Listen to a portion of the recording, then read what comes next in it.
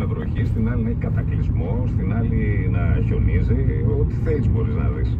Παρακαλώ. Ορίστε.